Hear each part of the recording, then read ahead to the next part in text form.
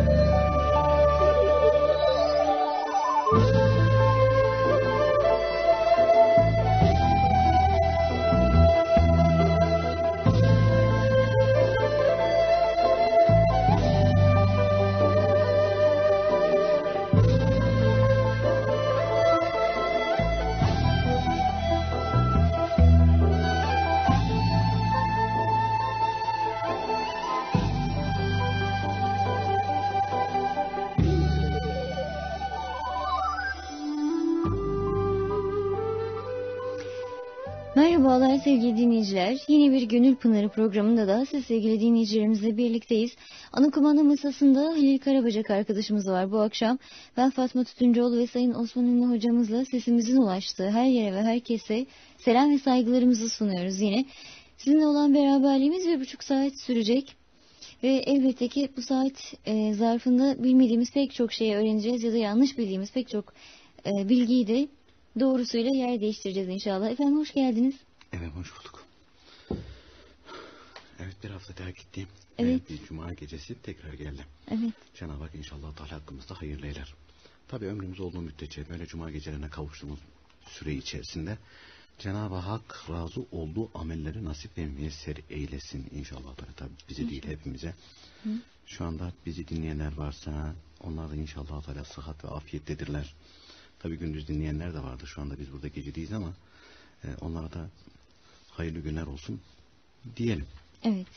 evet. Çünkü bizi internet vasıtasıyla dinleyenler de mevcuttur. Gündüzün olduğu yer de var. Uzak yerlerde olanlar da var. Hı hı. Uzakta olan, yakında olan, bizi dinleme zahmetinde bulunan da herkesten Allah-u Teala razı olsun. Daha doğrusu Cenab-ı Hak hepimizden razı olsun. Razı olduğu hale çevirsin. Niyetlerimizi halis eylesin. Niyetlerimizi düzgün eylesin. Bu gecenin hatır ve hürmetine inşallah Teala. Zaten bugün de konumuz niyetin düzgün olması. Niyet nedir? Nedir Ve- efendim niyet? Niyetin düzgün olması. Niyet kelime olarak bir şeye kastetmek anlamına geliyormuş. Niyet ettim şu işi yapmaya diyoruz mesela. Namaza niyet ediyoruz. Namazı kılmak için harekete geçmek. Kalbimizden onu belirlemek. Hedefe kilitlenmek. O işi yapmaya karar vermek. O işi yapmaya kastetmek. Manalarını taşıyormuş. İslam alimleri e, niyet konusu üzerinde çok durmuşlar niyet halis olmadığı müddetçe yapılan ibadetlerin hiçbir kıymetin olmadığını bildirmişler. İşte mesela ama efendim biz namaz kılıyoruz. Tamam namaz kılıyoruz da buradaki niyetimiz burada. Kastımız nedir? Buradaki maksadımız nedir? Sadaka veriyoruz da kastımız nedir?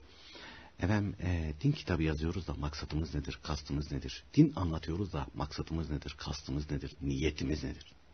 Çok önemliymiş bu. Yoksa beş para etmiyormuş Fatma Hanım.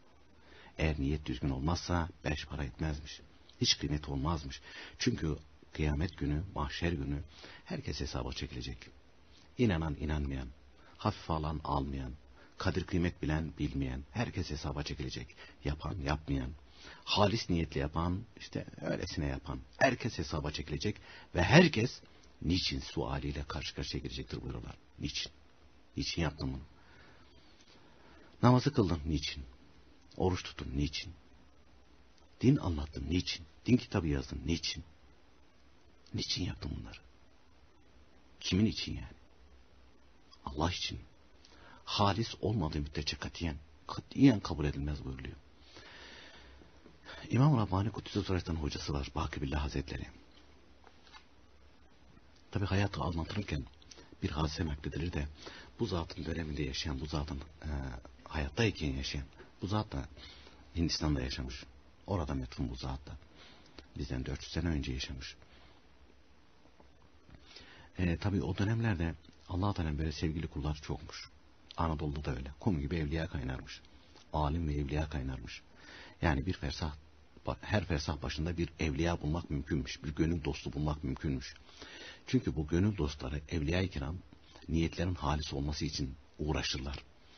İşte Bakıbillah Kudüs'ü Suresleri döneminde yaşayan yine böyle gönül gözü açık bir zat varmış. Bu zat vefat ediyor. Samimi bir talebesi böyle kabirde hocasının ruhaniyetiyle de görüşüp onunla irtibat kurabilecek noktaya gelmiş talebesi de. Bir gün kabrini ziyaret ediyor, hocasına arz ediyor. Efendim diyor, siz ahirete intikal ettiniz. Beni diyor kime havale ettiniz? Ben diyor kime gideyim? Kime gideyim? Evet ahirete intikal edenlerin ruhaniyetinden istifade edilir ama e, hayatta olan bize neleri yapmamız, neleri yapmamız la, la, lazım geldiğini bildirir. Ve ahirete intikal eden evliya-i kiramın kalplerindeki o nurdan da e, herkes kolay kolay faydalanamaz. O duruma gelmesi lazım buyuruyor. Bu talebenin durumu müsait mi? Müsait, müsait imiş ki hocasıyla bağlantıya geçiyor. Hocasını arz ediyor. Hocası da Bakıbillah Hazretleri'nin ismini veriyor. Evladım diyor git falan şehirde böyle bir zat var. Git ona talebe ol. Geliyor. Saf temiz niyetli bir genç. Kapısını vuruyor Bakıbillah Hazretleri'ne. Efendim diyor benim diyor hocam falan diyor vefat etti. Böyle diyor ben şimdi kendime bir rehber arıyorum. Hocama arz ettim sizi işaret buyur, işaret ettiler. Ben diyor size işte talebe olmaya geldim. Sizi rehber olarak seçiyorum, kabul ediyorum. E, bu büyükler şimdi, o hoş geldin, sefalar getirdim, buyur geç. Aa, hani zamanımızda var ya böyle, tabii canım benden büyük mürşit mi var, gel bakalım bu tarafa. Deyiveriyorlar hemen. Hatta derneğe üye kaydeder gibi adam topluyorlar. Bu yol öyle değil. Bakibillah Kutsu Suretleri o büyüklüğüne rağmen İmam Rabbani Hazretleri'nin hocası. Şakası yok bu işin. Estağfurullah kardeşim buyuruyorlar. Biz de kendimize bir rehber, bir mürşid arıyoruz. Bulursan bana da haber ver. Emin, emin evladım diyor. Çocuk ne yapsın bakıyor. Peki efendim diyor ayrılıyor. Gidiyor tekrar hocasının kabrine. Efendim diyor o da kendine bir rehber arıyormuş, bir mürşid arıyormuş. Evladım diyor git o kapıya. Git o kapıya. Peki diyor gene geliyor. Ertesi gün gene geliyor. Kapıyı vuruyor. Baki Billah Hazretleri buldun mu evladım diyor. Bulduysan diyor ben de geleyim. Allah Allah.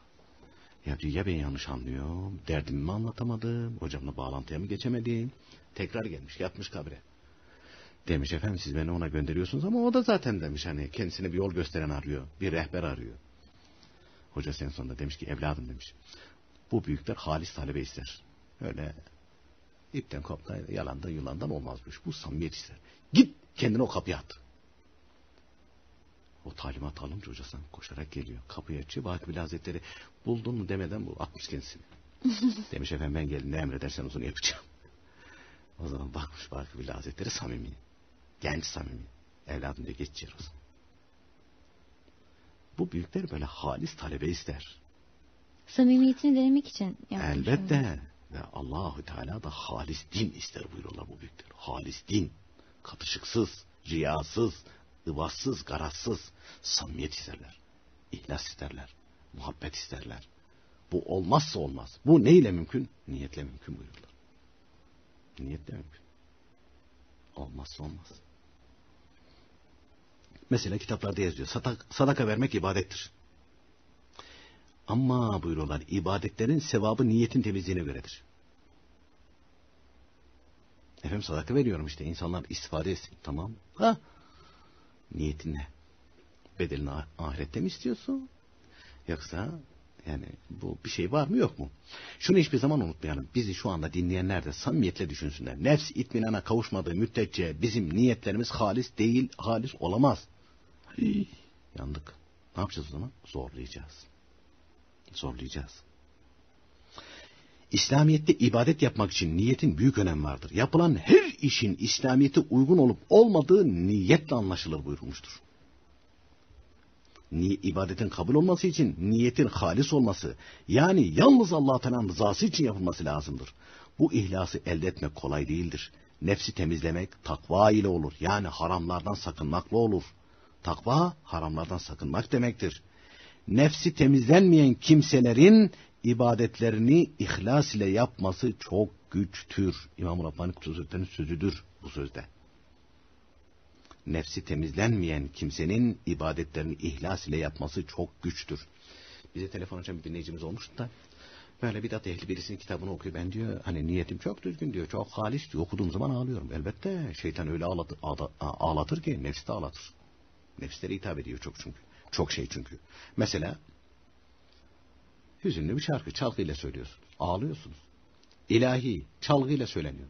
Nefsi tatlı geliyor. Ağlatıyor insan. Ağlıyorum ama ağlatır tabii. Nefsi ağlatır mı? Ağlatır tabii. Ama ağlamak ölçü değil zaten değil mi? Ölçü değil tabii ya. Ölçü değil. Ama diyor ben ağlıyorum. E ağla. ağla. Ne yapayım ağlarsın? Aa diyor ben ağlıyorum. Ağlar tabii. Nefsi de ağlatır. Şeytan da ağlatır adamı. Onun ölçüsü, onun ölçüsü nefs, e, nefsle alakalı, nefs temizlenmediği müddetçe ibadetleri ihlas ile yapmak çok güçtür. Amellerin sevapları niyetin düzeltmesine bağlıdır. Hafızların okuduğu ve hocaların ve vaiz, e, vaizlerin e, böyle Allah rıza e, bağırarak, çağırarak okuduğu ve nutuk çekerek anlattıklarının hiçbir karşılığı olmaz. Okuyor ayet-i kerimeyi, sonra başlıyor anlatmaya. Yerine göre heyecanlanıyor, kendini zorluyor, ağlatan bile oluyor. Ya bunlar niçin yapıyorsun? Niçin yapıyorsun? Sebep? Hangi sebep? Ya bak adam ne konuştu? Demek, dedirtmek için mi? Yoksa gerçekten allah Teala'nın dinini bu insanlara doğru olarak öğretmek için. Bunun alametleri vardır. allah Teala'nın dinini doğru olarak öğreten kimse kendi kafasına göre konuşmaz. Nakil yapar. İslam alimlerin buyurduklarını anlatır. Sabırlı olur. Bir konu bin defa da tek sormuş olsa bin defa da cevap verir. Sıkılmaz ondan, usanmaz ondan. Çünkü Resulullah sallallahu aleyhi ve sellem Efendimiz'e yüzlerce defa aynı şeyi sormuşlardır. Her seferinde de sabırla karşılamıştır. İnsanlardan gelen sıkıntılara dayanır. İnsanların malında gözü olmaz. İnsanların cebinde gözü olmaz. İnsanların makamında gözü olmaz. Parasında, şusunda, busunda gözü olmaz. Onun tek bir yerde gözü vardır. O da Allah-u Teala'nın rızasıdır. Onun için gayret sarf eder. Bu yoksa beş para etmez. İster hafız olsun, ister müftü olsun, ister vaiz olsun. Anlattığı da yarın yüzüne çarpılacaktır. Yüzüne çarpılacaktır. Allah Teala muhafaza buyursun. Bırakın böyle olmayı. Bir hadis-i şerif var. Peygamber Efendimiz Aleyhisselatü Vesselam miraca çıktığında gördüm buyuruyor. Gördüm. Miraç gecesi. E, yedi kat gökler çıkartılırken gördüm buyuruyor. Cenneti de gösterdiler, cehennemi de gösterdiler. Cehennemdekilerden gördüm dudaklarını böyle makasla keserek azap oluyorlardı. Kendi kendilerine kesiyorlar. Cebrail aleyhisselama sordum. Dedim ki bunlar kim? Senin ümmetin hatipleridir, vaizleridir. Ee, kendileri söyler, anlatır ama amel etmezlerdi. Bakın bunlar doğruyu söylüyordu ha. Söylüyor fakat söylediğiyle amel etmiyor. Dudaklarını böyle makasla keserek azap ediyorlar. Ya bir de yanlış söylerse, ya bir, ya bir de sabık şeyler anlatırsa, ya kendi görüşünü anlatırsa, Allah Teala muhafaza buyursun. Kendi görüşü hiçbir şekilde efendim dahil olmayacak mı anlatılan Hayır. şeylere? Hayır.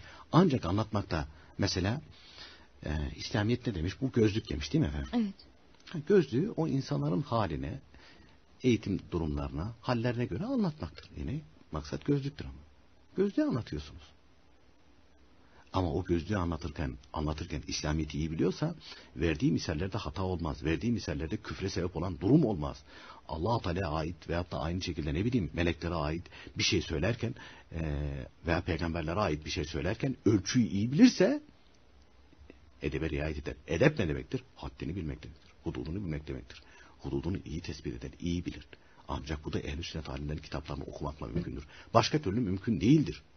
Başka türlü mümkün değildir. İstediği kadar istediği kadar feryadı figan etsin ama biz de burada feryadı figan ediyoruz ama diyorlar ki fazla konuştun. Biraz frene bas. Hay hay. Ara verecekmişiz.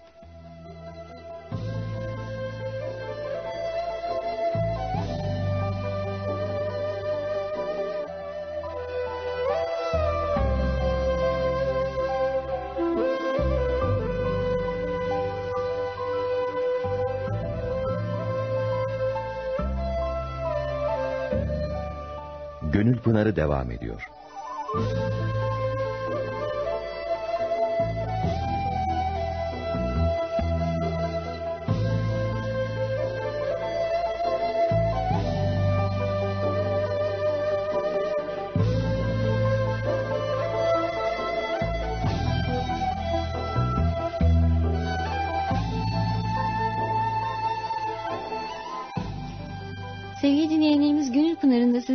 Birlikteyiz. TGRT FM'deyiz. Bu akşam konumuz niyet.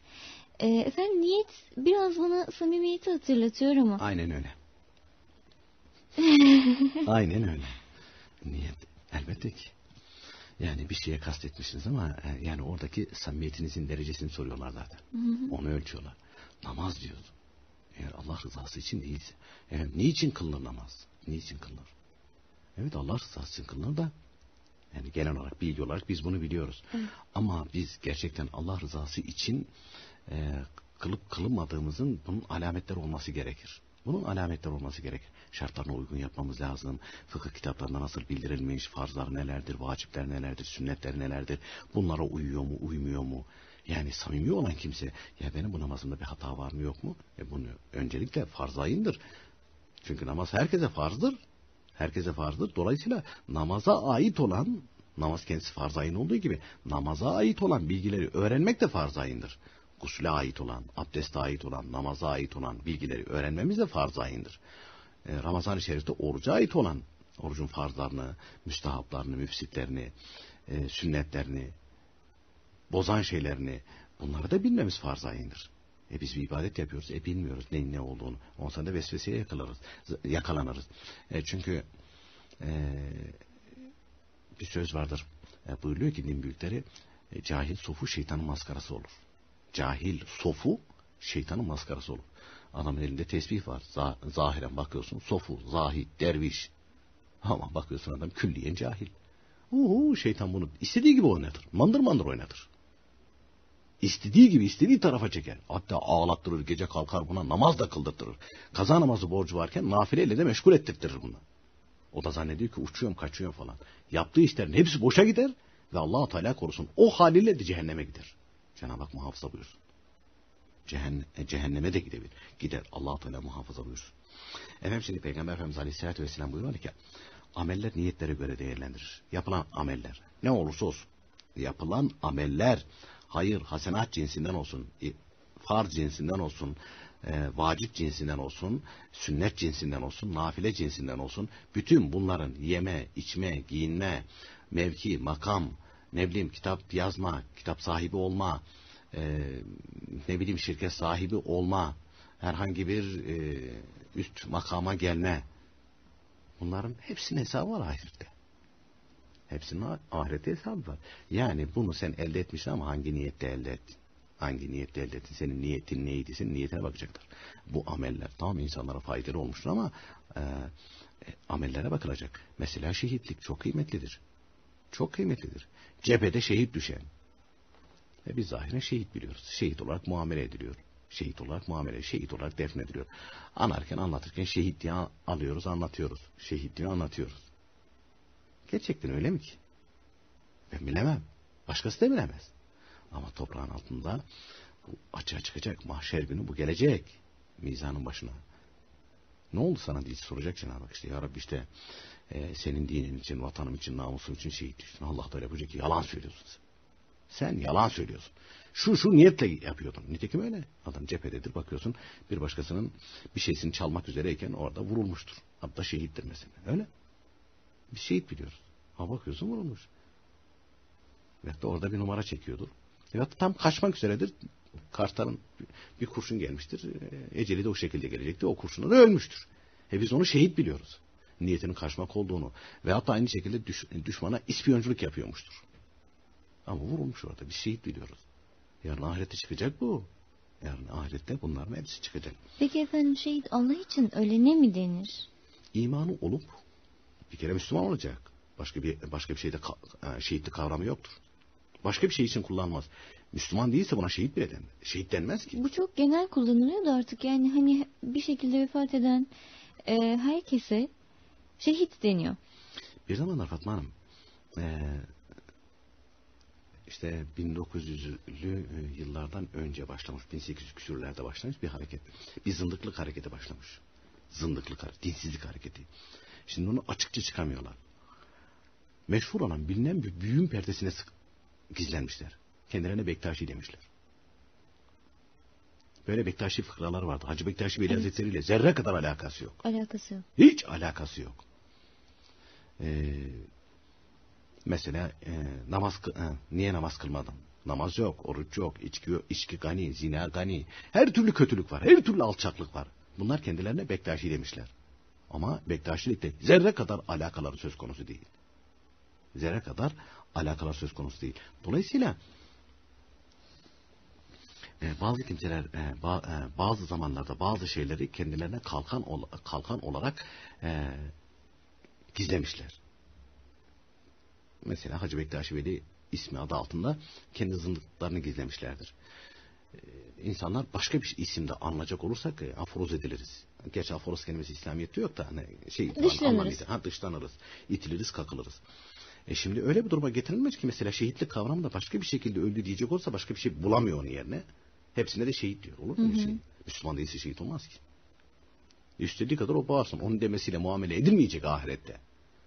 Yeryüzündeki diyelim ki e, e, bir milyar ateist ittifak etseler bu şehit diye bir kıymeti yok. Bir milyar değil beş milyar ateist olsa hatta yeryüzündekilerin hepsi altı milyar hepsi de ateist olsa hepsi de bu şehit diye ittifak etmiş olsalar. Ya bırak altı milyar insanı cinler de gelsin onlar da şahit olsun. E, karadaki denizdeki mahlukatın hepsi ittifak etmiş olsa.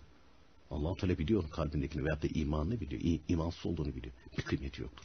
Hani cenaze namazında e, işte efendim cemaat ne kadar çok kalabalık olsa. O öyle değil. O öyle değil.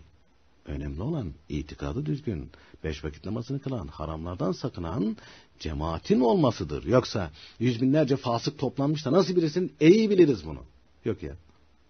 Siz neyi bilin deme. Olur şey? Olur şey? İyi biliriz. Fasık adam bir kere. Hani babaannem rahmetli derdi. Birisi öldüğü zaman adam der ömrü de ömründe bir defa e, alnı secdeye gelmedi derdi mesela bazıları için. Adamın ö- e, ömründe alnı secdeye denk gelme, yere gelmemiş.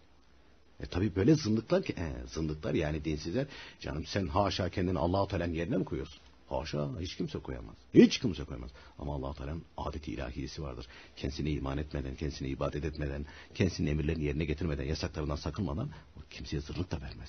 Efendim işte Allahu Teala gafurur rahim. Elbette ama elim e, azap sahibiyim buyuruyor allah Teala. Ve allah Teala azizün intikam diye de geçiyor Kur'an-ı Kerim'de. İntikam da alır. Niye o tarafını söylüyorsun? İki tarafı da var bunun. İki taraf da var bunun. Hatta şöyle bir hadise anlatırlar da naklederler daha doğrusu. Vaktiyle adam birisi böyle gider insanlara nasihat edermiş falan. Din görevlisiymiş bu. Akşam eve gelince de hep böyle kafayı çekermiş. Böyle saf temiz kalpli bir hanım varmış. Efendi dermiş ya sen insanlara nasihat ediyorsan ediyorsun ama demiş eve de geliyorsun de demiş bu mereti içiyorsun. Hatun sen bilmez misin dermiş ayet-i kerime okumuş. allah Teala gafurur rahimdir demiş ya. Gafur rahim. Bir, üç, beş falan. E bir gün e, bu e, din görevlisinin haline gönül ehli birisi muttali olmuş. Ne demiş bu? Böyle bir e, çok affedersin halt karıştırıyor. Geliyor hanımına diyor ki e, senin diyor efendin akşamları ne yapar? Kadıncağız saf olduğu için söyleyivermiş böyle böyle. E peki sen müdahale etmez misin? E ben demiş müdahale ediyorum ama bana ayet-i kerime okuyuveriyor. İşte allah Teala gafurur rahimdir diyor. Yine demiş böyle iş yapacağım da sen gene de ki efendi etme eyleme. Yapma bunu. Bak bu günahtır. De. Sana o ayet-i kerimeyi okuyunca gafur rahim olduğunu bilen ayet-i kerimeyi okuyunca elim azap sahibi olduğunu bilen ayet-i kerimeyi söylemiş. Sen de bunu okuyuverdin. Adamcağız gene gelmiş o. Gelmiş gene çilingi sofrasını kurmuş. Tam içeceği sırada hanım müdahale etmiş. Efendim demiş etme eleme hem insanlara nasihat diyorsun hem bu kötülüğü yapıyorsun. Hatun demiş her gün söylüyorum her akşam söylüyorum. Bilmez misin allah Teala Kur'an-ı Kerim'de gafur rahim olduğunu bildiriyor işte bu ayet-i kerimede. Elbette efendi demiş ben inanıyorum, iman ediyorum. Ama demiş o gafurur rahim olan Rabbim böyle de buyuruyor. Adam birden durmuş. Vallahi doğru demiş ya. Ama demiş bunu sen söylemiş sana birisi söylemiş demiş. sana birisi söylemiş sen bilmiyordun bunu. Demiş evet demiş birisi söyledi. O söyleyen demiş bana emir marufta bulundu. Doğru demiş. Allahu Teala gafurur rahim olduğu gibi azizün intikamdır. intikam alır ve elim azap sahibidir de. Ve tövbe ediyor. Nasıl bir kimseymiş tabi. Tövbe ediyor ve pişman oluyor bir daha da yapmıyor. Bir de anlayı vermek de önemli elbette, herhalde değil elbette, mi? Efendim? Elbette. Kabul Dolayısıyla- edebilmesi. Hı hı. Dolayısıyla, dolayısıyla Doğru. bazı kimselerin bazı kelimeleri bazı yerlerde kullanmaları onun aslı şeyini değiştirmez. Ne şehit oldu adam değil simansız şehit diyorsun. Ne şehidi hiç alakası yok. Hiç alakası yok olur mu öyle şey? Şehit iman olacak, kalbinde iman olacak, Allah Teala iman etmiş olacak. Allah rızası için yani yurdunu, vatanını, namusunu, dinini, imanını korurken vurulacak. Buna tam şehit denir. Ama bir kimse yatağında da ölürse şehit olur mu? Olur tabii. Yatağında da ölürse şehit olur mu? Olur. Nasıl olur? Her beş vakit namazın arkasında şehit olmayı isterse, dilerse, Allah-u Teala'dan talep ederse Allah-u Teala ona şehitlik nasip eder. İşte bugün bir dinleyicimizin birisi aradı da diyordu ki efendim dedi siz anlatıyordunuz işte şehit olarak ölmeyi istemek lazım. Eğer şehit olarak ölmeyi e, istenmezse münafıklık alametidir diye söylüyordunuz. Ben de bunu bir yerde bahsettim. Aa hiç öyle şey olur mu? O bela istemek olur, hastalık istemek gibi bir şey olur mu öyle şey? Cahillerin böyle sözleri senet olur mu, üçet olur mu? İslam alimleri böyle bir hadis-i şerifte var bunu. Eğer bir kimse şehit olmayı e, canı gönlünden isterse Allahu Teala ona yatağında ölürken bile şehitlik nasip eder. Çünkü şu şehit olmayı istemek lazım. Allahu Teala şehit olarak ölenlerin, şehit olarak ölenlerin e, kul haklarını üzerine alıyor. Yani kendisi helallaştırıyor. Af olmuyor. Ama bu çok Affolmuyor. güzel bir şey efendim değil mi? Yani Affolmuyor. Rabbimizin affetmediği tek günah olarak bahsediyor. Kul hakkına evet. girmiyor. Evet. Kul hakkına girmiyor. Mesela Osmanlı ne öldü? Cenab-ı Hak diyelim ki inşallah Teala hepimize nasip eder. Şehit olarak öldü. Şimdi Osmanlı kurtulmadı ki. Dünyadaki yaşadığı ömür süresince kaç kişiyle muamele etmiş? Yüz bin kişi hepsi geliyor. Yüz bin kişi. Kimisinin bir gram, kimisinin on gram, kimisinin üç gram, kimisinin beş gram hakkı var. Öyle ya ters bakmışındır. Yolda giderken koluna vurmuşumdur. Ne bileyim bir şey olmuştur yani. Bunların hepsi kul hakkı mı? Kul hakkı tabii. Herkes talep ediyor. allah Teala o zaman dermiş ki öbür e, bende hakkı olana ey kulum senin ne kadar hakkın var? Yüz gram. Sana köş, şu köşkü versem vazgeçer mi? Bir bakıyor ki vazgeçtim gittim dedi. E, Cenab-ı Hak böyle helallaştırırmış. Böyle helallaştırmış yoksa yani o vazgeçtim diyor. Helal ettim diyor orada. Onun için dünyadayken helallaşmak lazım. Dünyadayken helallaşmak lazım. Ee, yani biz bizi dinleyenler başını ağrıtıyoruz. Dolayısıyla haklarını helal etmesini talep ediyoruz. Bizim hakkımız varsa biz geleceği de dahil olmak üzere bütün haklarımızı herkese helal ettik. Helal ettim. Helal ettim. Her zaman helal ediyorum. Çünkü ahirette uğraşmaktansa peşin peşin dünyada. Bu çok kazançlıdır ha. Bu çok Onu soracaktım hocam. Şimdi mesela birisi size haksızlık ediyor. Diyelim ki siz de o an sabrediyorsunuz. Ama tabii sabretmek de o kadar kolay bir şey değil. Elbette. yani hem sabrediyorsunuz. Ondan sonra mesela karşı karşıya geliyorsunuz. Sonra helalleşiyorsunuz. Sonra yani şimdi bu sanki şey gibi geliyor. Yani hem dünyada çekmiş oluyorsunuz. Ondan sonra da ahirette bunun karşılığını almamış olmak gibi filan. Çok e, farklı geliyor ama. Helal etmek Nedir o kadar doğrusu? çok karlı ki. O kadar çok karlı ki. Mesela ben birisine hakkımı helal ettim. Hı hı. O kurtulmadı. O kurtulmadı. Eğer samimiyetle ağlar, sızlar, çok yalvarır, çok tövbe istiğfar ederse allah Teala herkesin söz olarak söylediğinin karşılığını, ondan sonra iş olarak, fiil olarak yaptıklarının karşılığını eğer bu kimse samimiyetle tövbe etmişse dünyada karşılığını verir hastalık verir, fakirlik verir, illet verir, başka sıkıntılar verir. Dünyada bitirir onun işini. Ahirete kalmaz. Ölüm hastalığını şiddeti yapıverir Cenab-ı Hak. Silkeler yani böyle. Çünkü Cenab-ı Hak ezelde böyle söz vermiştir. Zerre kadar iyilik yapan karşılığını görecek. Zerre kadar kötülük yapan muhakkak karşılığını görecek. Peki ben dünyadayken kul olarak vazgeçtim. Bir mümin de hakkım vardı alacağımdan vazgeçtim. Yarın ahirette kıyamet günü allah Teala buyurmuş ki Ey kulum sen kulsun, muhtaçsın, garipsin, fakirsin. Bense ganiye mutlakım. Yani hiçbir şeye muhtaç değilim. Her şeyin sahibi benim.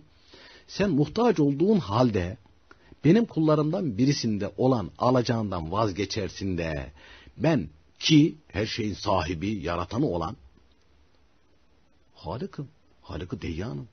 Kıyamet günü sahibiyim, her şeyin sahibiyim. Hiçbir şeye muhtaç değilim. Ben der senin günahlarını affedemez miyim? Hepsini siler, sildiği gibi bir de, bir de, bir de, e, dünyada sen ne kadar alacaktın ondan? 150 gram. Allah Teala 150 ton verir sana ya. 150 grama karşı. Hangisi karlı?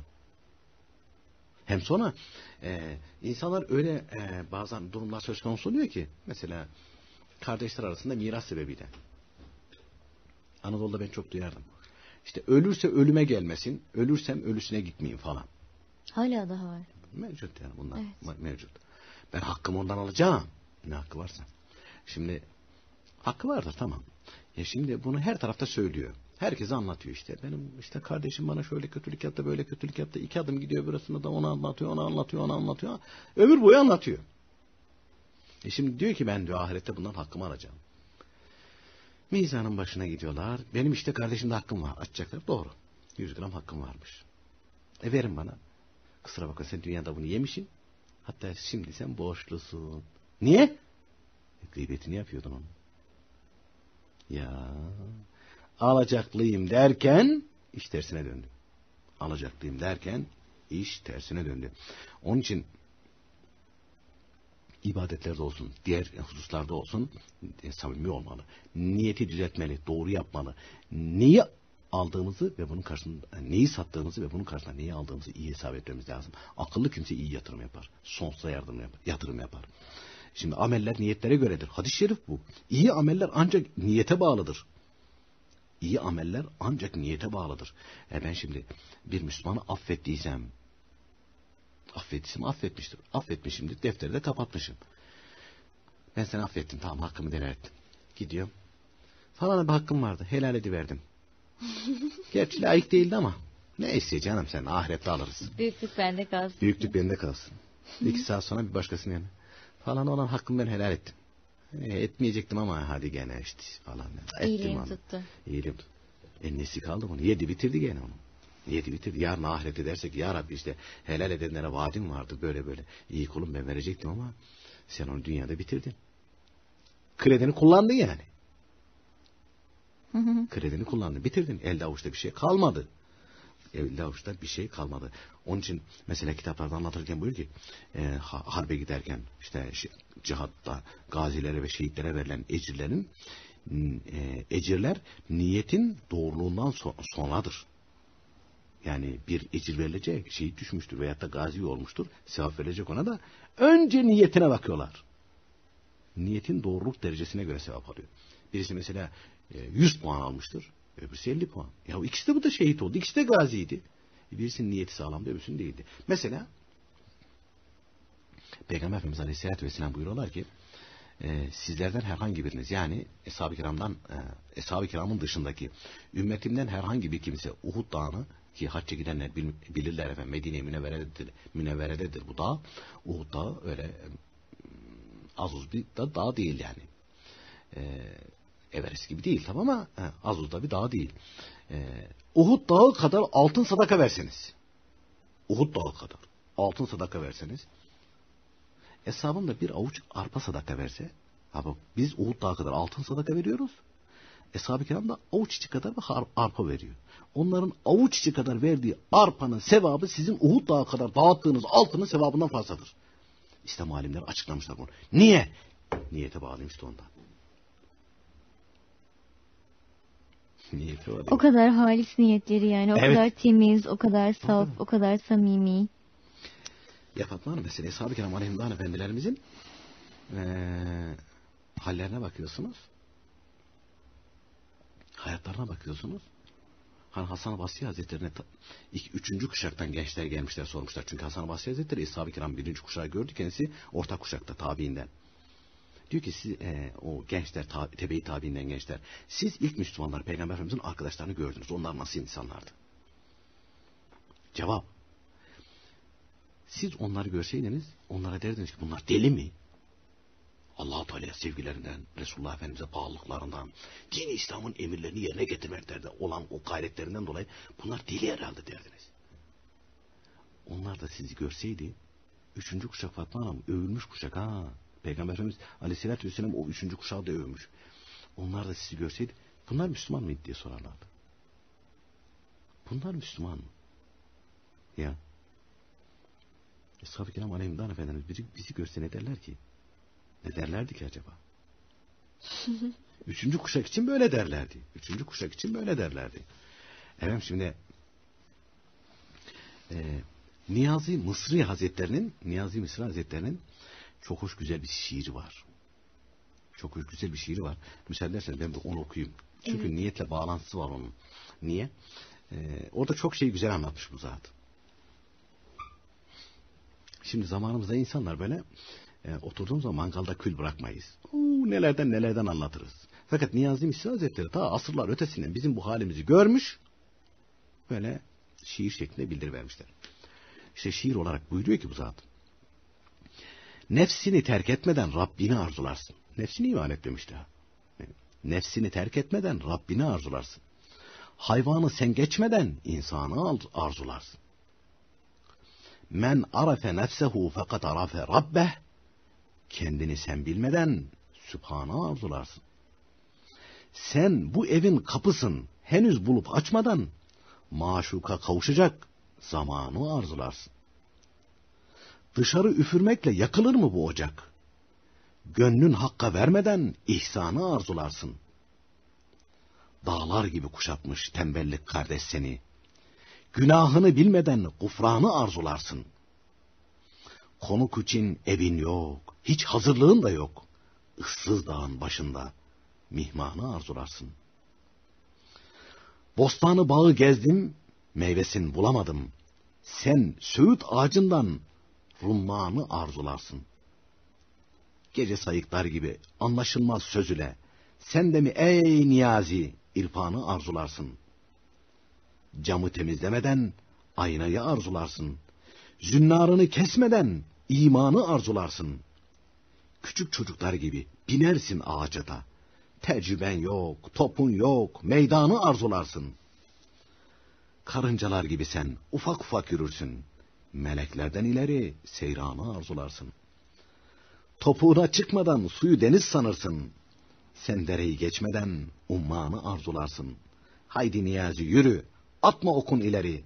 Derdiyle kul olmadan sultanı arzularsın. Şimdi bu şiir, bu şiir bu niyet konusunda olsun, çeşitli konularda olsun o kadar hoş ki. Mesela e, bu şiirde geçiyor buyuruyor ki sen söğüt ağacından rummanı arzularsın. Yani ortada doğru dürüst itikadın düzgün değil, ibadetlerin düzgün değil. Bir söğüt ağacısın ama ondan nar bekliyorsun diyor. Olur mu öyle şey diyor. Rumman nar. Sen diyor söğüt ağacından rummanı arzularsın. Olur mu öyle şey diyor. Altıcı bağlar kazeli. Oho meleklerden ondan sonra melekut aleminden bahsediyorsun. Hele bir otur bakalım dersin yolda yürümesini bilemiyorsun. Ondan sonra gece oturuyorsun tesbihler çekiyorsun. İtikat düzgün mü? Ahlakın düzgün mü? Nefs nedir? Haberi bile yok. Ondan sonra da kalkıyor. Bunlar, e, şimdi mübarek kendisini de fırçalıyor tabii. Gece sayıklar gibi anlaşılmaz sözle. Sen de mi ey niyazi irfanı arzularsın. Yani Allah-u Teala'yı tanımayı arzularsın. Halbuki Allah-u Teala'yı tanıdı. Allah-u Teala'yı tanıdı. Kendini bilmekten, bilmekten O zaten men arefe nefsehu fakat arafe rabbe. Bu hadis-i şeriftir aslında. Nefsini tanıyan Allah-u Teala'yı tanırmış. Nefsini tanıyan, nefsini tanıyan nefsinin şerrinden korunur ve o nefs de imanla şereflenir. Nefsini tanımayan bir kimse Allah-u Teala'yı tanıması da mümkün değil. Çünkü nefs buyruluyor, nefs buyuruyor. Bakın bunların hepsi bilgi. Kitaplarda var. Ama tanımak farklı bir şey. Öyle anlatıyorlar. Öyle anlatıyorlar. Yani nefs imanla karşı, e, imanla şereflenmediği müddetçe bizim ihlasla yaptığımız zannettiğimiz, düzgün niyetle yaptığımız zannettiğimizin hepsinde nefs bulaşıklığı vardır. Nefs, çünkü bu zat zaten öyle buyuruyor. Nefsini terk, et, terk etmeden Rabbine arzularsın. Her şeyi nefsimize göre, kendi kafamıza göre, kendi düşüncemize göre, e, ona göre hazırlıyoruz, ona göre yapıyoruz. Ondan sonra da, ondan sonra da e, biz diyor Allah-u Teala'ya kavuşalım. Mübarek adam yok ya. Böyle bedava vermezler bu işi. Öyle bedava vermezler. Galiba bir aramız var. Evet efendim. Kısa bir aradan sonra tekrar birlikteyiz.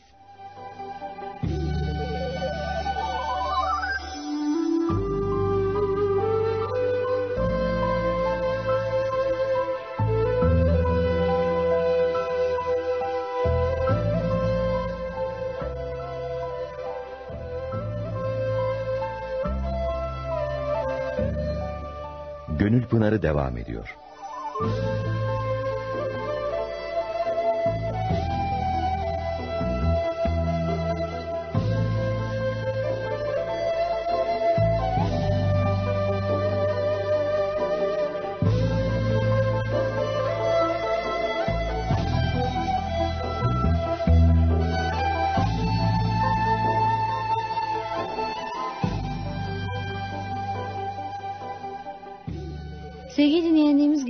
Pınarı programımız da GRT FM'de devam ediyor. Hakikaten güzel bir konumuz var bu akşam. Konumuz niyet. Efendim hani bu insan münasebetlerinde bile samimi olan insanların bize yaklaşımları çok daha fazla hoşumuza gidiyor değil mi? Arkadaşlıklarımız, dostluklarımız o yüzden belki de uzun yıllar boyu sürüyor. Samimiyet olduğu için, iyi niyet olduğu için. Fatma niyet düzgün olunca yani kalp halis olunca, kalp temizlenince, niyet de halis olunca ne, ne meydana gelir? Dediğiniz gibi muhabbet meydana gelir. Muhabbet hasıl olunca Eshab-ı Kiram niye yüksektiler? Aralarında öyle bir muhabbet vardı ki. Öyle bir muhabbet vardı ki mesela onların arasındaki o muhabbeti biz kitaplarda okuduğumuz zaman e, böyle ben dehşetten dehşete düşüyordum. Ya bunların çok mübalağalı yazılmış. Gerçekten bu, bunlar insan mı? Ama bu coğrafyada yaşamışlar. Bu coğrafyada yaşamışlar. Yani aralarında öyle bir muhabbet var ki, öyle bir muhabbet var ki, hele Resulullah sallallahu aleyhi ve sellem Efendimiz'e karşı öyle bir muhabbetleri var, öyle bir sevgileri var ki, her şeylerini feda etmişler. Yani mal, mülk, evlat neyse bunların hepsini feda ettikleri gibi en kıymetlisi, bunlardan daha kıymetlisi candır. Mesela bir annenin evladına göstermiş olduğu şefkat, yani Cenab-ı Hak öyle vermiş daha doğrusu, e, başka bir şey de göremiyorsunuz. Ama iş cana gelince anne hemen geri duruyor. Babaannem anlatırdı şöyle bir şey anlatırdı bize. Bize de işte bir kadıncağızın e, çocuğu hastalanmış böyle ateşler içerisinde yanıyor falan. Kadıncağız da anne şefkatiyle hem ağlıyor gözyaşı döküyor. Arada sırada da e, aman yavrum işte sen ölme de ben öleyim falan diye. Bunu hikaye diye anlatıyorlar. O anda kapıların içeri birisi girmiş. Kadın bakıyor sen kimsin diyor ben diyor Azrail'im. Kadın diyormuş ki bak hasta orada hasta orada. Çocuğunu gösteriyor. Hasta orada, hasta orada diyormuş.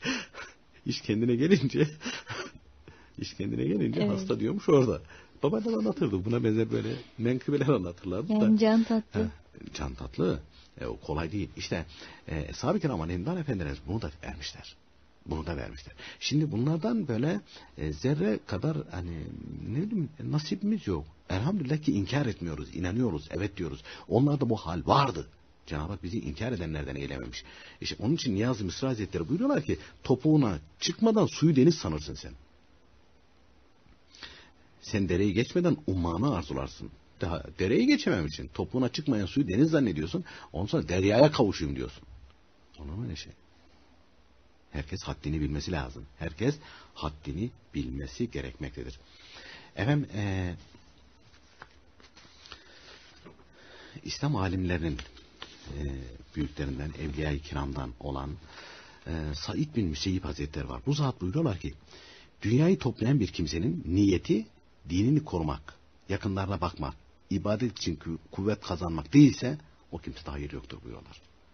Şimdi bazılarının hatırına gelebilir biz dinleyenlerin. Efendim siz niyetin halis olması diyorsunuz da yani biz mal mülk sahibi olmayacak mıyız? E dinimiz bunu men etmemiş. Bütün mesele e, bu Said bin Müseyyip Hazretleri'nin buyurdukları gibi. Yani bunlar kazanırsın. Evin, araban, katın, yalın ne olursa olsun bunlar olsun. Ama bunlardan maksadı nedir? Yani allah Teala diyecek kulum bunları elde etmekteki maksadı neydi? Niyeti neydi? Niçin yaptın bunları? Niçin? Bu soruya hazır olmak lazım. Yine İslam, İslam alimlerinden ve Evliya-i Kiram'dan olan Muttarif bin Abdullah Hazretleri var. Bu zat buyuruyor ki kalbin doğruluğu amellerin doğruluğu iledir. Amellerin doğruluğu da niyetin doğruluğu iledir. Kalbin doğruluğu amellerin doğruluğu iledir amellerin doğruluğu ise niyete bağlıdır. Yine bu zat buyuruyor, salih kalp, salih amel ile elde edilir. Salih amel de ancak niyetin salih, doğru olmasıyla ele geçer. Şimdi bazen öyle durumlar söz konusu olur ki, Adam ki ya ben der temiz niyetle yaptım. İyi niyetle yaptım. Neyi yaptım bakıyorsun. Diyor ki ben diyor hırsızlık yaptım ama bu hırsızlık değil diyor. E ben diyor bizim mahallede fakir fukara vardı. Onlara götürüp diyor onları giydirdim yedirdim içirdim diyor. Benim niyetim düzgün. İşte İslam halinden anlatırken buyuruyorlar ki ameller niyete göre iyi veya kötü olur. Hadis-i şerifi taatlara, mubahlara niyete göre sevap verileceğini bildirmektedir. Bir kimse birinin gönlünü almak için başkasını incitse veya başkasının malıyla sadaka verse yahut haram para ile mektep cami yaptırsa bunlara sevap verilmez buyuruyorlar. Bunlara sevap beklemek Cahillik olur. Zulüm, günah iyi niyetle işlenirse yine günah olur. Böyle işleri yapmamak sevaptır. Bilerek yaparsa büyük günah olur. Günah olduğunu bilmeyerek yaparsa Müslümanların çoğunun bildiği şeyleri onun bilmemesi, öğrenmemesi de ayrıca günah olur buyuruyor. Evet ben bilmiyordum. Bilmemek ayıp değil. E şimdi Arabanız varsa araba kullanıyorsunuz. Bir hata yaptınız. Trafik polisi çevirdi. Dedi ki işte trafik kurallarından şunu ihlal ettiniz. Şöyle bir kanun maddesi var. Vallahi kusura bakma polis bey ben bilmiyordum. Öyle mi ya? Geç, geç mi diyorlar? Bilmiyorsan öğren ya da bilmiyorsan ehliyeti niye aldın, niye yola çıktın diyorlar. Şey değil o. Mazeret Bahane değil o. değil. Mazeret değil. Mesela İslam alimleri sıkı sıkı yazmış. Herkesin, her Müslümanın bilmesi lazım olan meseleler var. E, yarın ahirette niye yapmadın bunu? E, şey ben bilmiyordum. E, herkesin bilmesi lazım. Bunu farz ayın da bu. Bir de e, bilmiyordun. Ve bunu öğrenmek için de gayret de sarf etmedin. Öğrenmedin. Ayrı bir günaha daha giriyorsun. Ayrı bir günaha daha giriyorsun. Bilmemiz gerektiğini de bilmiyoruz ama galiba hocam. Değil mi? O ayrı bir dert Fatma Hanım. Şimdi e, bu bizim İslam ve Toplum programında zaman zaman dinleyicilerimiz tabii telefonda katılıyorlar. Bu programı alamıyoruz. Çünkü bu programda belli bir konu üzerinde duruyoruz. Hani gönül isterdi ki almak isterdik. Gönül ki almak isterdik. Ama bir de hemen e, konunun dışına çıkıveriyor. Çünkü bir iki sefer denedik olmadı. E, mesela orada e, bize sorulan sualler var. Gelen sualler var. Bakıyoruz şimdi. E, ben kendim İmam İlahiyat çıkışlıyım. Mesela bu ülkede 70 bin adet cami vardır deniyor. 70 bin din görevlisi. E bu insanlar ne anlatıyor? Bu insanlar hem kendi öğrendi diyor namazın abdestini. E peki sen ne iş yapacaksın o zaman ya? Sen ne iş yapacaksın? Bu adamcağıza gusül seni öğreteceksin, abdest seni öğreteceksin, namaz seni öğreteceksin. Bunları sen iyi bileceksin. Hatta dört mezhepteki hükümlerini iyi bileceksin bunları. Çıkış yollarını iyi bileceksin.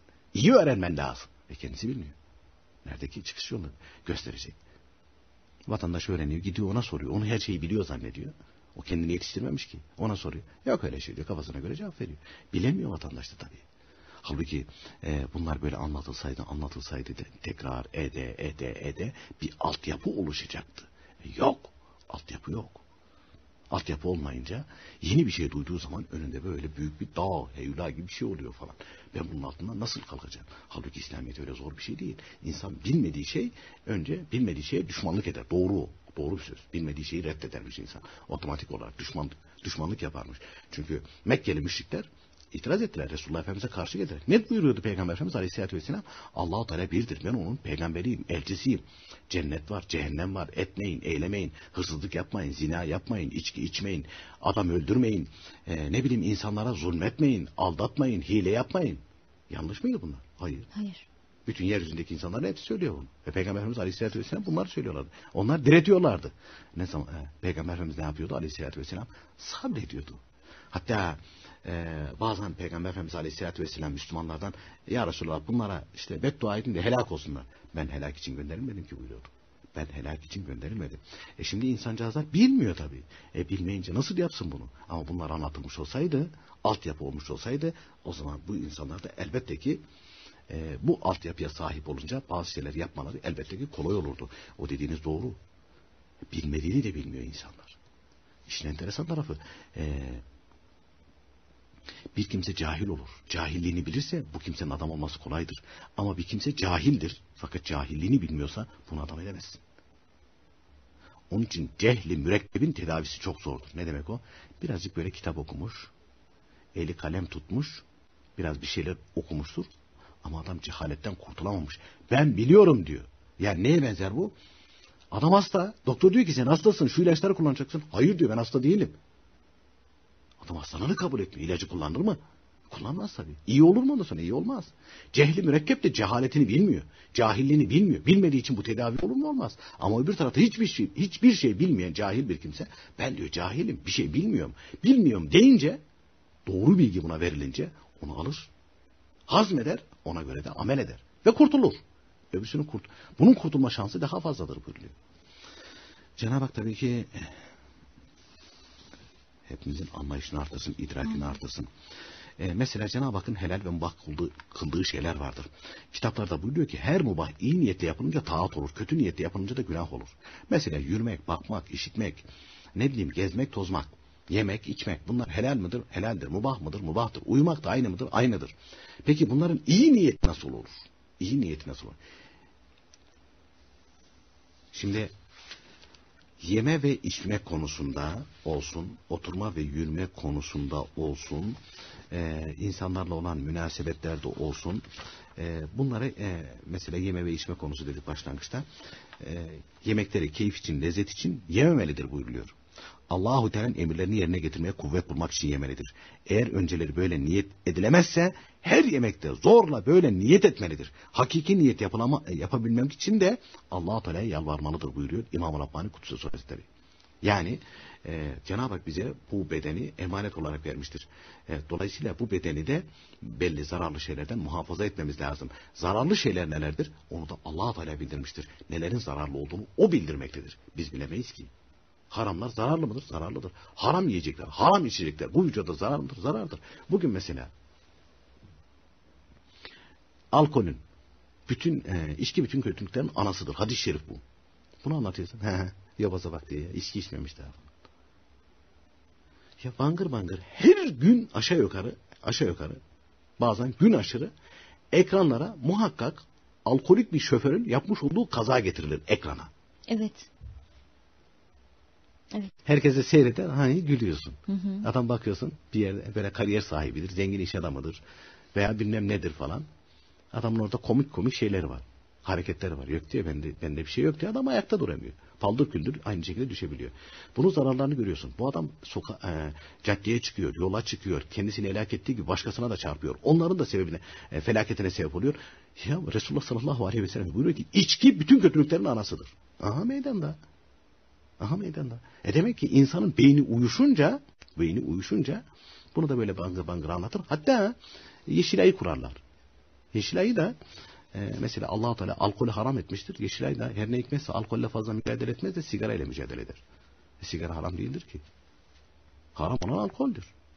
Haram olan alkoldür. Esas alkolle mücadele et. Haram olan odur çünkü allah Teala men ettiği odur. Ha onunla da mücadele etme değil. Onunla da mücadele edebilirsin. Ama esas olan öncelikli olan haram olan allah Teala yasak ettiği şeydir. Ve alkol bütün kötülüklerin anasıdır. Hadis-i şerifle bildirilmiştir. E, dolayısıyla yerken ve içerken Allahu Teala'ya e, yani o yeme ve içmede keyif için, lezzet için değil de Allah'ın emirlerini yerine getirmekte kuvvet kazanmak için yemelidir buyuruyor. Böyle niyet etmek için de zorlamalıdır. Böyle niyet etmek için de zorlamalıdır. Sonra e, mesela bu giyinme kuşanma işlerinde de yani e, yeni temiz elbise giymede işte allah Teala insanın yeni temiz elbisesine, hayrat ve hasenatına, malına, rütbesine bakmaz. Tabi Giyinmeyecek mi? Yeni temiz elbise giymeyecek, giyecek. Ne diye yapacak? İşte Müslüman temiz olur, vakarlı olur. Ki Müslümanlığın izzetini, şerefini, vakarını korumak, soğuktan korunmak, sıcaktan en neyse kendisini muhafaza etmek ve allah Teala emrettiği şekilde örtünmek niyetiyle giyinmelidir giydiklerinde. Niyeti böyle olmalıdır buyuruluyor. Giyerken de, evet sabahleyin elbiseyi giyerken de böyle niyet etmelidir. Efendim yatarken de niyet var mı? Elbette ki. Yatarken de ya Rabbi sabah namazına vaktinde kalkmaya, işimi vaktinde gitmeye ve e, vücudumu dinlendirip e, ibadetlerimi daha dinç ve kuvvetli şekilde yapmak ve insanlara da daha faydalı olabilmek niyetiyle yatıyorum diye niyet etmelidir. Böyle niyet edip yatarsa abdesti de girmişse yatağa serapa gaflet olan uyku baştan sona ibadet olur buyruluyor. Galiba bir aramız daha var ondan sonra.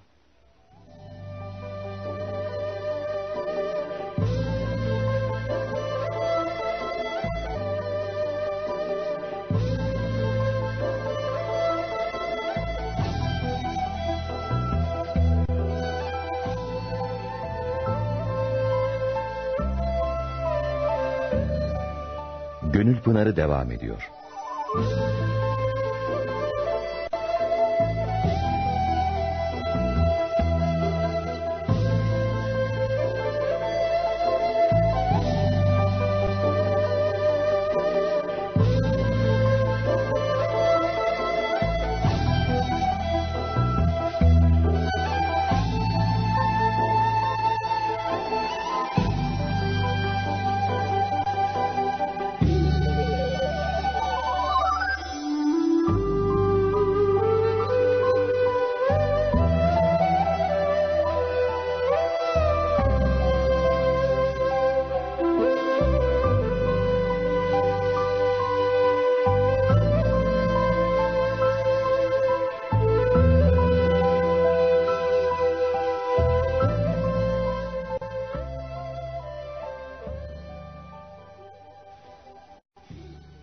Sevgili dinleyenlerimiz devam ediyor. Gönül Pınarı programımız. Programımızın sonlarına doğru yaklaşıyoruz. Hakikaten yaptığımız her e, işte Allah rızasını gözetmek gerçekten çok güzel. Efendim daha önce e, hatırımda e, kalmıştı. Belki yanlış olabilir. E, siz yine düzeltin. Hani Allah için yapılan tüm ameller ve iyilikler ya da hayırlar unutulurmuş değil mi? Unutmak gerekiyormuş hemen arkasından. Evet. Yaptığınız iyilikleri iki şeyi unutun buyuruyorlar.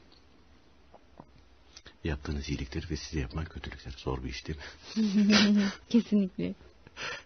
Ama bir şey de hiç unutmayın. Günahlarınızı buyuruyorlar. Günahlarınızı da unutmayın. Şimdi Evliya-i Kiram'ın hali buymuş ama. Mesela Bişri Hafi Hazretleri rahmetullahi aleyh e, işte ayağı çıplakken Cenab-ı Hak o anda tövbe nasip etmiş ama daha önceki o meyhanedeki halini hiç unutmamış ki. Hep başı yerde. Hiç unutmuyorlar. Ya tövbe et kaç defa. Cenab-ı Hak yüksek dereceleri ihsan etti ama hala başı eğik.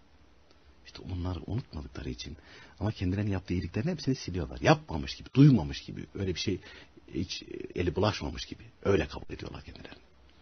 Ama şeyleri, günahlarını hiç unutmuyorlar. Günahlarını hiç unutmuyorlar. Bakın kitaplarda anlatılırken buyuruyor ki, mesela bir kimse e, ne bileyim güzel koku sürünmesi, iyi giyinmesi, e, dünya lezzeti için veya gösteriş yapması içinse, övünmek içinse veya kendisini kıymetlendirmek içinse yani güzel kokular sürülmesi, iyi giyinmesi, dünya lezzeti için, gösteriş için, övünmek için, kendini kıymetlendirmek için ise veya başka haramları işlemek için ise günah işlemiş olur. Yaptığı neydi? Giyinmekti, koku sürülmekti. Ama hangi niyetle yaptı? Bozuk niyetle yaptı. Netice ne oldu? Günah oldu. Günah oldu.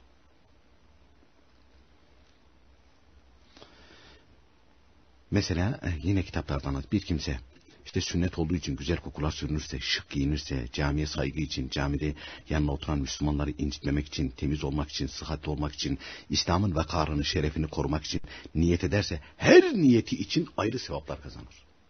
Ya giyinme de bu. Giyinme de bu. E Cenab-ı Hak çeşitli nimetler ihsan etmiş. Ekmektir, tuzdur, sudur, e, ne bileyim çeşitli meyveler var, çeşitli yiyecekler var. Bunları yiyorsun. Bir kuvvet kazanıyorsun. Bunları yerken her şeyden önce sünnet seniye uygun olarak yemekten önce elini yıkarsın, tuzla yemeye başlarsın. Besmeleyle başlarsın ve ondan sonra da ya Rabbi işte bunu, e, sana ibadet etmek ve ibadette güç ve kuvvet kazanmak niyetiyle ben yiyorum. Bu niyetle yiyorum. Bunu zorlamalıdır buyuruluyor. E o zaman şimdi mesela e, yine kitaplarda anlatılıyor. E, bir kimse abdest olarak yemek yerse ve niyetini böyle düzeltirse o yediği yemeklerden hasıl olan enerjiyi ibadette kullanabilir. Ona, e, o enerjiyle hayırlı işler yapabilir. Ama abdestsizse, ne bileyim besmelesizse, nereden geldiği de meçhulse yiyeceğin, e, o yiyeceklerden hasıl olan enerjiyle o kimsenin iyilik yapması, hayır hesanet yapması, ibadet yapması çok çok zor. Çok çok zor. Efendim ben nerede hata yapıyorum? Nerede? Nerelerde hata yapmıyoruz ki? Hani deveye sormuşlar, neren doğru? Ha, boynunu eğri de neren doğru ki? diye cevap vermiş. Ve bazı İslam alimleri buyuruyorlar ki her mubah işte hatta yemede, içmede, uyumada ve helaya gitmekte bile iyi niyet etmeyi unutmamalıdır. Helada bile. Helada bile yani onu bile yazmışlar yani. Yani Cenab-ı Hak bu dünyada bu vücudu böyle yaratmıştır. Yiyince içince bunu atması gerekiyor. Bunu atması gerekiyor. Onun için kitaplarda mesela hela adab bile anlatılmıştır. Helada konuşmamalı, sakız çiğnememeli, yememeli, içmemeli. Mekruhtur buyuruyor. E, helaya oturduğu zaman yüzü kıbleye gelmemeli, arkası da kıbleye gelmemeli. Fazla eğlenmemeli. Hatta İmam Rabbani Kutlusu Sözlerinin bir sözleri var da e, böyle e, diyelim ki bozuk, itikadı bozuk, düşüncesi bozuk, adamlara böyle zulmediyor, bilmem ne yapıyor falan böyle birisiyle e, görüşmek mecburiyetinde kalırsan, bir işin düşer de görüşmek mecburiyetinde kalırsan bir ifade kullanmışlar işte. Heladaki kadar buyuruyorlar tamam Heladaki kadar. Mümkün çabuk yani. Evet çabuk. Yani orası sefa sürecek yer değil. Şimdi mesela Avrupalılar diyor ki işte efendim biz söyleyiz böyleyiz. Onların dedelerini de biz tanıyoruz. Bizden öğrendiler bizi geçtiler. Çok evet. özür dilerim helal mefhumu yokmuş işte sonra lazımlığı öğrenmişler. Adamlar o kadar da edep terbiyeden e, uzak ki dikkat edersen bakın e, bu losyonlar losyonlar hep Avrupa'da Fransa'da çünkü adamlar Evet. yıkanmasını bilmiyorlardı o pis kokularını gidermek için bunları üretmişler çıkarmışlar. Yani kralları herhangi birisini bir e, misafirini karşıladığı zaman çok affedersin ihtiyacını gidermek için lazımla otururmuş öyle karşılarmış falan. Böyle heriflerdi böyle pis insanlardı. Nereden nereye? Biz onların orta çağdaki o pisliğini taşıdık. Onlar da bizim orta çağdaki o özelliklerimizi aldılar ve ona ilave yaparak genişlettiler.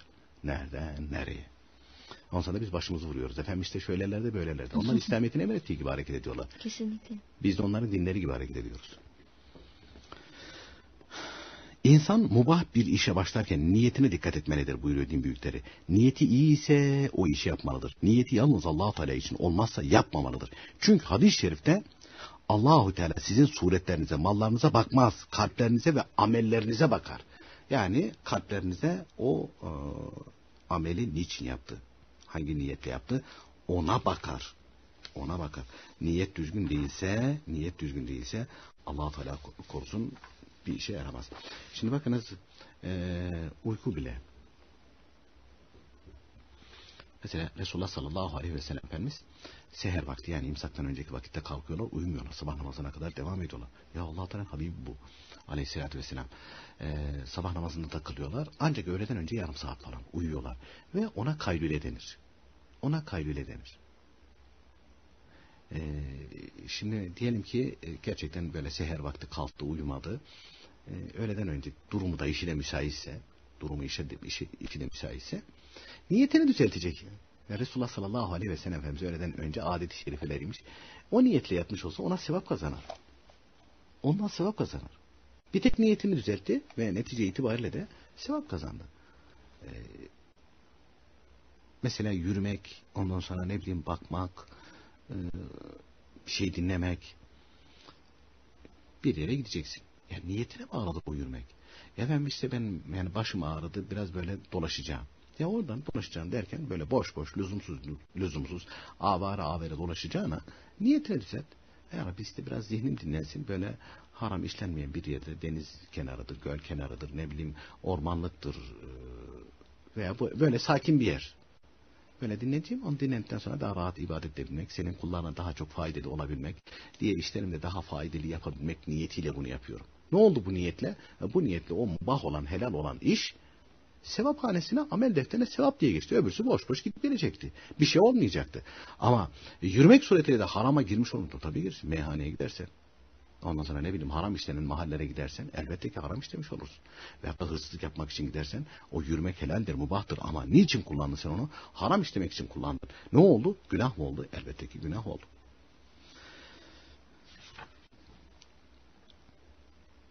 Peki efendim böyle niyetimiz olumsuz olursa bunun e, dünyada da bir e, sıkıntısı var mı? Yani dünyada da bize dönüşüm ve olumsuz mu? Hani bazen hani insanlar kendi kazdığı kuyuya düşerler ya. Hani çoğu zaman Yani ne gibi? Ee, diyelim ki niyetimiz e, düzgün değil. Mesela karşımızdaki insandan menfaat kazanmak için onunla dost olmaya çalışıyoruz. Hı hı. Aynısıyla mukabele görürsün. Aynısıyla mu- mukabele görürsün. Yani kim nasıl yaparsa ne ederse eden kendine eder, eden kendine eder, eden kendine eder buyurmuşlar din büyükleri. Dolayısıyla efendim kim ne ediyorsa aynısıyla mukabele görür. Aynısıyla ama hiç değişmez. Hatta e, biz küçükken hep anlatırlardı böyle. E, yani onlar olmuş veya olmamış ama baktığınız zaman yani bir şeyi anlatmak için öyle misalle anlatırlarmış. Olmamış olsa bile de muhayyelelerinde, hayallerinde canlandırarak öyle şeyler de söylemiş olabilirler. E, genç bir adam yaşlı bir adamı dövüyor. Herkes gelmiş ne yapıyorsunuz E, demiş utanmıyor musun sen gençsin demiş bu yaşlı falan. O yaşlı adam yere düşmüş zaten diyormuş ki ellemeyin dokunmayın dövsün dövsün diyormuş. O benim oğlum. Aa demişler hem de oğlum nasıl döver? Yok yok dokunmayın diyormuş. Aynı yerde ben de babamı dövmüştüm diyor. Ya aynı yerde diyor ben de babamı dövmüştüm. E kim ne yaparsa kim ne yaparsa gün gelir aynıyla mukabele olur. Musa aleyhisselam Allah Teala arz eder ya Rabbi bana adaletini gösterir misin diye. Allah Teala buyuruyor ki inanmıyor musun? Ya Rabbi inanıyorum. İnanıyorum ama yakinim artsın diye istiyorum. İbrahim Aleyhisselam da böyle bir allah Teala'dan talebi ardı olmuştur. Ya Rabbi ölüleri nasıl diriltiyorsun bir görmek istiyorum. Kur'an-ı Kerim'de geçiyor bu. Allah Teala İbrahim Aleyhisselam'a inanmıyor musun? Hayır ya Rabbi inanıyorum ama yakinim artsın diye istiyorum. Yakinim artsın diye. bir güvercin anlatılıyor. Ayet-i kerimede geçiyor. Onları e, Allah Teala'nın emriyle kesiyor. Parçalarını değişik dağlara koy diye koyuyor. Aynı güvercin bakın tak diye geliyor. Dirilmiş olarak. Parçalarını parçalıyor, değişik yerlere koyuyor, dirilip geliyor. Musa Aleyhisselam da Allah Teala'ya arz ediyor. Ya Rabbi diyor adaletini görmek istiyorum. Ee, inanmıyor musun? Hayır ya Rabbi inanıyorum. Elbette inanıyorum da yakinim artsın diye. Allah Teala buyuruyor ki falan yerde bir kuyu var. Git. İşte o kuyunun başında işte çallar O çalların arkasına gizlen. Olacakları seyret. Adaletimi gör buyuruyor Cenab-ı Hak. Geliyor Musa Aleyhisselam. O çalların arkasına gizleniyor. Beklemeye başlıyor. Bakıyor kuyunun başına bir atlı geliyor. Atlı atından iniyor. Ondan sonra kendi suyunu içiyor. Atını da atına da e, su veriyor. Atını da suluyor. Tam atına binerken Musa Aleyhisselam çalıların arasına bakıyor. Adam atına binerken para kesesi düşüyor yere. Ama görmüyor adam. Adam atına biniyor uzaklaşıyor oradan. Biraz sonra oraya bir çocuk geliyor. Atlı gitmiş ama yok. Çocuk geliyor. Musa Aleyhisselam görüyor. Çocuk geliyor. Çocuk suyunu içiyor. Bakıyor ki para kesesi alıyor. Atıyor. Koyuyor cebine gidiyor. Çocuk gittikten sonra yaşlı bir adam. Sırtında odun demetiyle o geliyor kuyunun başına. Odunları indiriyor. Çalları indiriyor. İşte suyunu içerken o atlı yolda giderken bir bakıyor. Aa para kesildi diyor. Ha demiş bu kuyunun başındaydı. Orada düşmüştür. Geri dönüyor. Geri döndüğünde bakıyor ki bir adam var. E diyor ki ben biraz önce burada diyor atımı suladım. Kendim de su içtim. Para kesem burada düşmüştür. Bunu sen almışsındır. Hayır diyor almadım. Yok diyor sen almışsın. Adamı hırpalarken dövüyor ve netice itibariyle adam ölüyor. Eyvah. Atlı da çekip gidiyor. Musa Aleyhisselam seyrediyor. allah Teala buyuruyor ki adaletimi gördün mü? Musa Aleyhisselam Ya Rabbi der. Ben hiçbir şey anlamadım bundan. Yani zahiren haksızlık Parayı var. alan başkası, öldürülen başkası. Hı hı. Ben diyor bu adaleti anlayamadım diyor. Buradaki hikmet nedir anlayamadım. allah Teala vahyederek bildiriyor. O parayı alan çocuk var ya buyuruyor Cenab-ı Hak. Evet ya Rabbi gördüm der. Sonraki yaşlı gelen adam, yaşlı sırtında odun demetiyle gelen adam, işte o çocuğun babasını o bir kese altın için öldürmüştü buyuruyor. Ya Ya sonucunda yine o kese vasıtasıyla da kendisi öldürülmüş oldu. ya. Hani demin sordunuz ya. Hı hı. Aynısıyla mukabele görür mü? Evet aynısıyla mukabele görür. O bir kese altın için öldürmüştü o çocuğun babasını. Bir başkası da onu öldürdü. Kese de sahibini buldu. O zaman hocam bizim kendi evlatlarımız için dahi habire iyilik yapmak için uğraşmamız lazım değil mi? Elbette, elbette, elbette. Kim ne yaparsa kendine yapar. İyilik eden iyilik yapar. Hatta şöyle bir e, hikaye de anlatır. O da benim çok hoşuma gidiyordu. Zaman zaman da onu naklediyoruz, anlatıyoruz da. Vaktiyle bir hükümdar varmış. Bu hükümdarın da bahçıvanı var. İşte bir yerden böyle çok tavsiye bir armut fidanı getirilmiş. O armut fidanı biraz büyümüş falan. Ee, işte meyve verecek duruma geliyor. Çeş, e, Birçok çiçek açıyor ama birisi meyve veriyor. Bir tek armut. Bir sene öyle, iki sene öyle falan. Hükümdar demiş ki demiş bir tek armut oluyor. Tam olgunlaşıyor sırada kartal gelip balık götürüyormuş onu. Hükümdar demiş ki bana bak. Bu sene de demiş eğer demiş bu armut tadamazsan demiş kellen gitti. Kellen gitti. Adam yatıyor kalkıyor tam böyle şey yapıyor. Kartal hakikaten geliyor armut alıp gidiyor. Adam ne yapsın? Kartal almış götürüyor. Beni diyor yaktın. Yani de ben gittim. Ama diyor şimdi sıra sende. Sen beni yaktın şimdi sıra sende. Derken bir avcı küt diye indiriyor onu. Adam görüyor avcıyı. Heh diyor avcı şimdi sıra sende diyor. Ay çok iyi. O sırada o sırada e, avcı böyle şey yaparken bir yılan avcıyı sokmuş.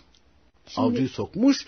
Avcıyı sokunca avcıyı sokunca e, adam onu görüyor. Yılana diyor ki şimdi sıra sende. Bu e, şeyde bu adam bu bahçıvanın çocuğu da oradaymış.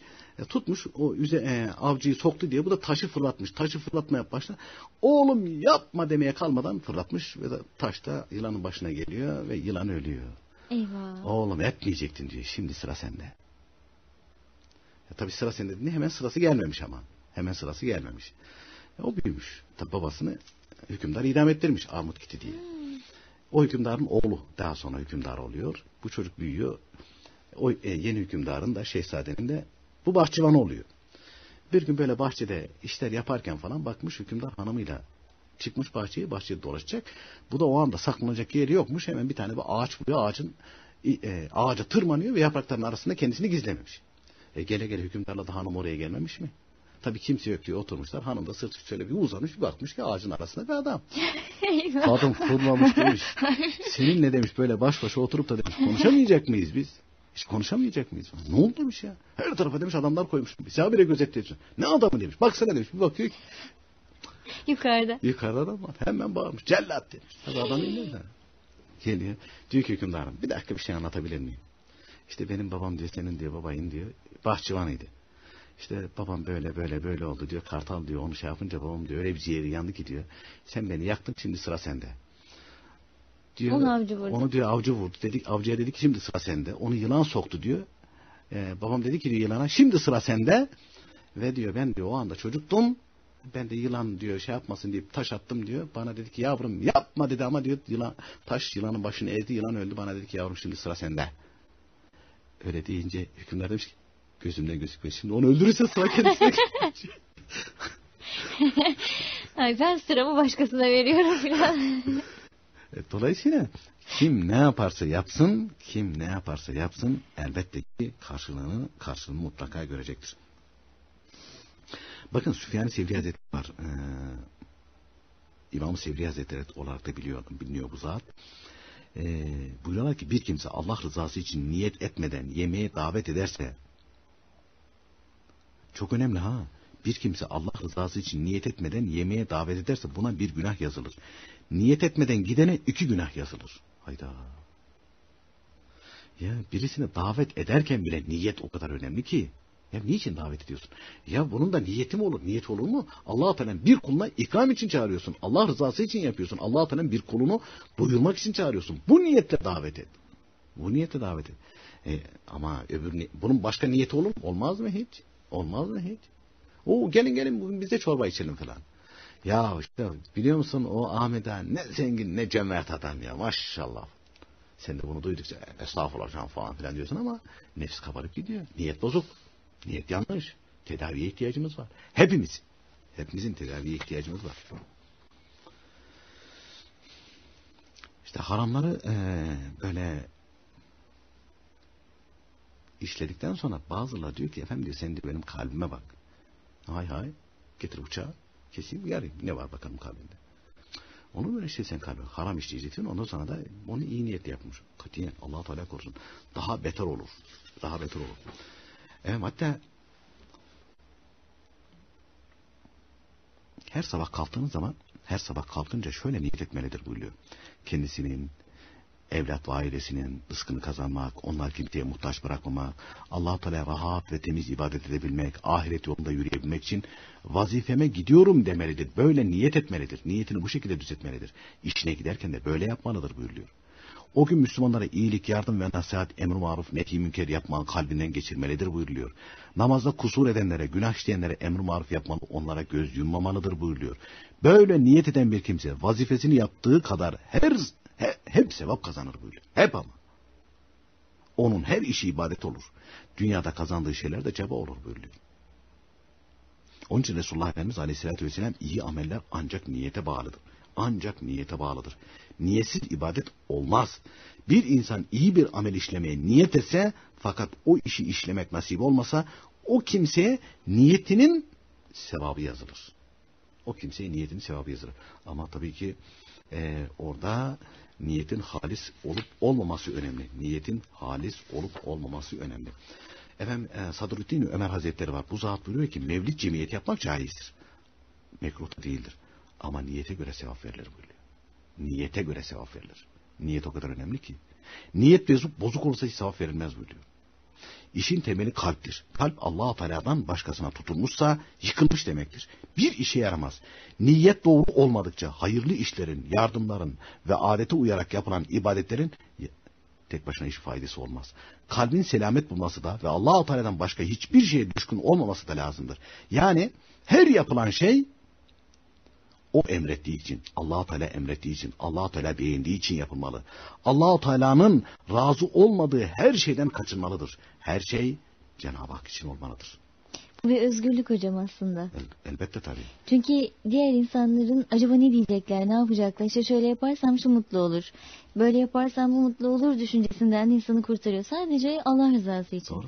Yani o ne düşünmüş benim için önemli değil. Ben iyisini yapmaya çalışayım da kimseye zarar vermeyeyim ve niyetim rıza yani Allah rızası olsun da diye düşünmek aslında gerçek özgürlük bu değil mi? Zaten kitaplarda İslam alimleri de öyle buyuruyor. Ee, hakiki kulluk gerçek manada hürriyettir. Gerçek manada hürriyettir. Çünkü bir yere odaklısın. Evet, tek bir yere. Tek bir yere kil- kilitlisin. Yaptığın her şeyi. Uyumak, yemek, içmek, giyinmek, kuşanmak, evlenmek, e, ne bileyim e, kitap yazmak, anlatmak İslam alimleri mesela. Öyle kitap yazmamıştır. Ancak yani üstadı, ondan sonra rehberi izin veriyor, şey yapıyor. Ondan sonra veyahut da manevi işaretler alıyorlar. Ondan sonra yapıyorlar o işi. Kolay kolay yapmıyorlar. Niye? Niyetim halis mi değil mi? Defalarca istihare yaptıkları olmuştur. Ve bazılar mesela bir Fatiha-i Şerife'yi namazda okurken defalarca işte na'budu iyyâke na'budu ve iyyâke nesta'in. Ancak senden yardım eder, ancak sana ibadet ederiz, ederiz mahallindedir o ayet-i kerime. Oradakiler döner döner takılıp kaldıklar olurmuş. Acaba nefsimin bulaşıkları vardı. Acaba Allah'tan nefsim için, nefsim için bir şey bekliyor muyum? İnsanlardan bir şey bekliyor muyum? Gerçekten ben Rabbime samimi miyim? Ama bizim gibi insanlar hemen vesveseye düşer. Onlarınki vesvese değil. Tir tir titriyorlar böyle. Tir tir titriyorlar. Cenab-ı Hak inşallah onların şefaatlerine nail eder. Onların sevgisini, sevgisinden bizleri mahrum eylemez. Ve ahirette şefaat ederler. Şefaat ederler inşallah Teala. Cuma geceleri, cuma geceleri geliyor gidiyor. Ve gidiyor gidiyor. Faniyiz biz hepimiz de faniyiz. Gideriz yürürüz gideriz. Onun için biz efendim herkesten tekrar helallik diliyoruz. Biz hakkımızı helal ettik. Cuma gecemiz mübarek olsun.